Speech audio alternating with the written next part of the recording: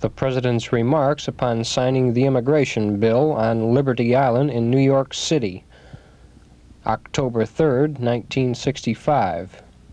Mr. Vice President, Mr. Speaker, Mr. Ambassador Goldberg, uh, distinguished members of the leadership of the Congress, distinguished governors and mayors, my fellow countrymen. We have called the Congress here this afternoon not only to mark a very historic occasion, but to settle a very old issue that is in dispute. That issue is to what congressional uh, district does Liberty Island really belong? Congressman Farbstein or Congressman Gallagher? It will be settled by whomever of the two can walk first to the top of the Statue of Liberty. This bill that we will sign today is not a revolutionary bill. It does not affect the lives of millions. It will not reshape the structure of our daily lives or really add importantly to either our wealth or our power. Yet it is still one of the most important acts of this Congress and of this administration. For it does repair a very deep and painful flaw in the fabric of American justice. It corrects a cruel and enduring wrong in the conduct of the American nation. Speaker McCormack and Congressman Celler, more than uh, almost 40 years ago, first pointed that out in their maiden speeches in the Congress.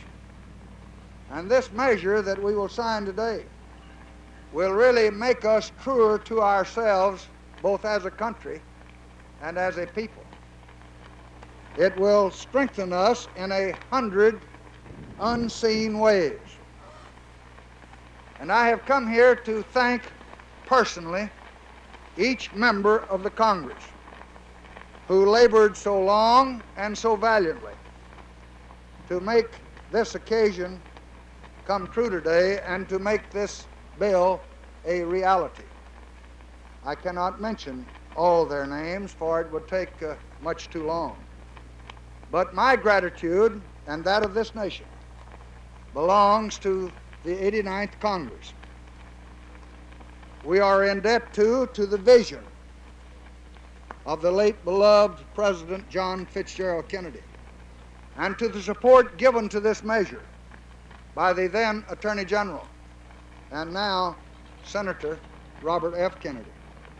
In the final days of consideration, this bill had no more able champion than the present Attorney General, Nicholas Katzenbach, who, with New York's own Manny Celler and Senator Ted Kennedy of Massachusetts, and Congressman Feighan of Ohio, and Senator Mansfield and Senator Dirksen constituting the leadership of the Senate, and Senator Javits, helped to guide this bill to passage, along with the help of the members sitting in front of me today.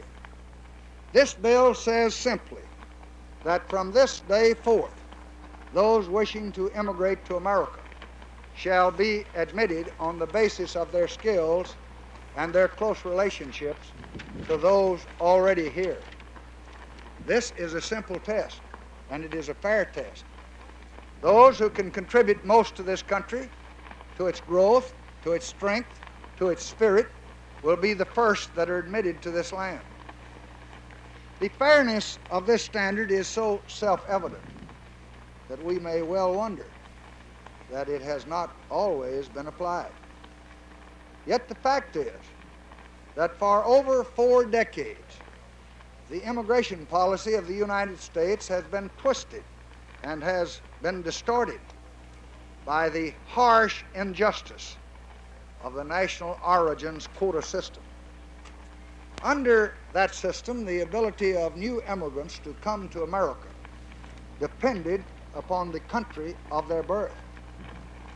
Only three countries were allowed to supply 70% of all the immigrants. Families were kept apart because a husband or a wife or a child had been born in the wrong place. Men of needed skill and talent were denied entrance because they came from southern or eastern Europe or from one of the developing continents. This system violated the basic principle of American democracy, the principle that values and rewards each man on the basis of his merit as a man. It has been un American in the highest sense because it has been untrue to the faith that brought thousands to these shores even before we were a country. Today, with my signature, this system is abolished. We can now believe that it will never again shatter the gate to the American nation with the twin barriers of prejudice and privilege. America was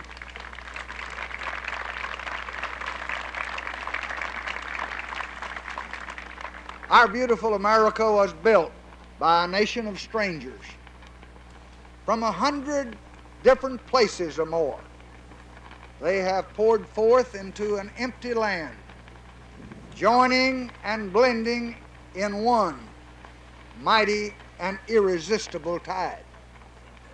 The land flourished because it was fed from so many sources, because it was nourished by so many cultures and traditions and peoples.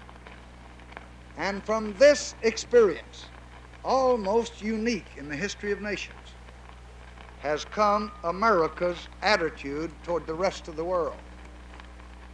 We, because of what we are, feel safer and stronger in a world as varied as the people who make it up, a world where no country rules another, and all countries can deal with the basic problems of human dignity and deal with those problems in their own way. Now, under the monument which has welcomed so many to our shores, the American nation returns to the finest of its traditions today. The days of unlimited immigration are past.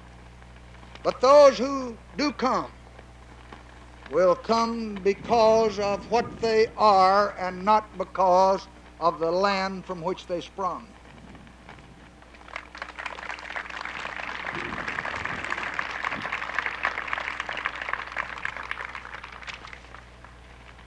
When the earliest settlers poured into a wild continent, there was no one to ask them where they came from. The only question was, were they sturdy enough to make the journey? Were they strong enough to clear the land?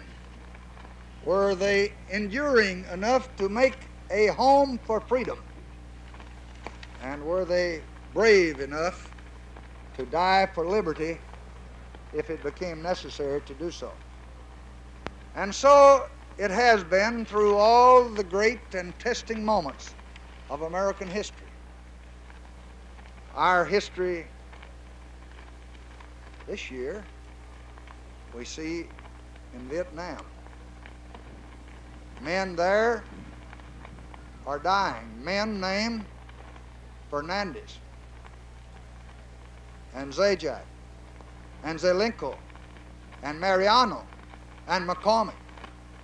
Neither the enemy who killed them nor the people whose independence they have fought to save ever asked them where they or their parents came from. They were all Americans.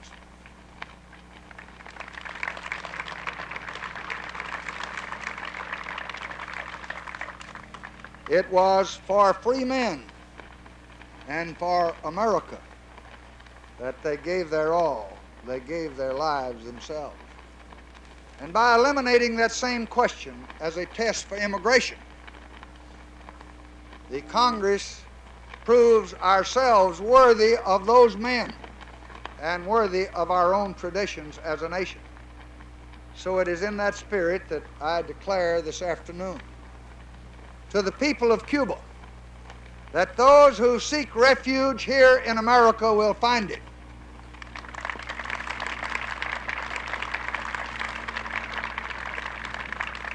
The dedication of America to, to, to, our traditions as an asylum for the oppressed is going to be upheld.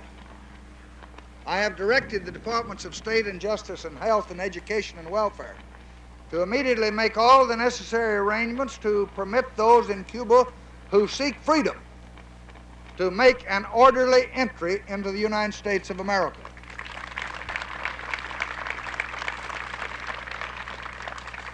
Our first concern will be with those Cubans who have been separated from their children and their parents and their husbands and their wives and that are now in this country.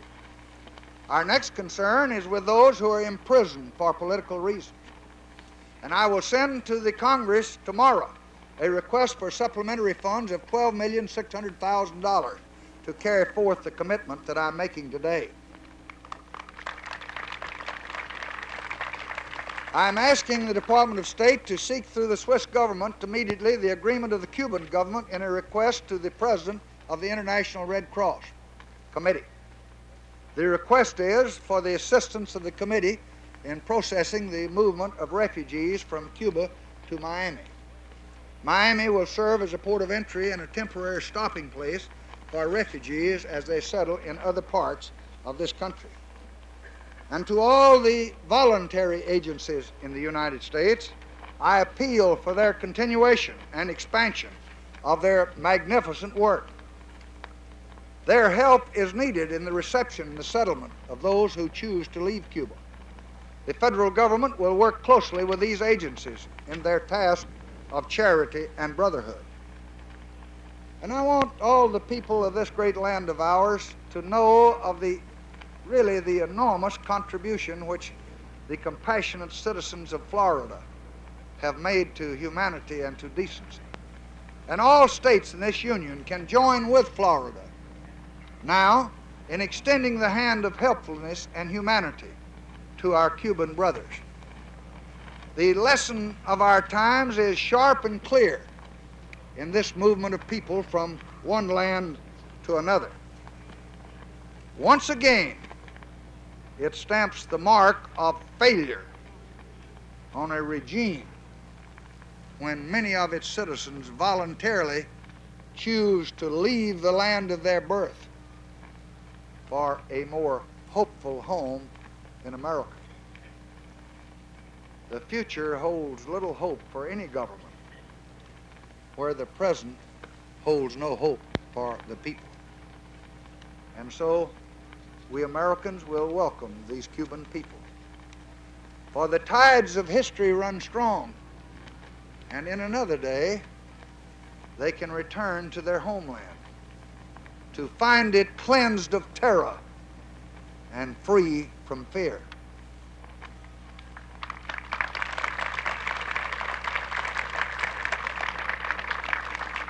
Over my shoulders here, you can see Ellis Island whose vacant corridors echo today the joyous sound of long ago voices.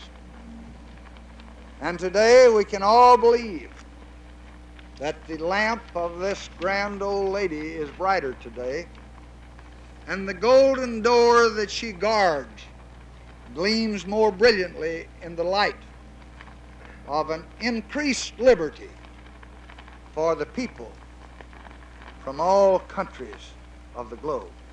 Thank you very much.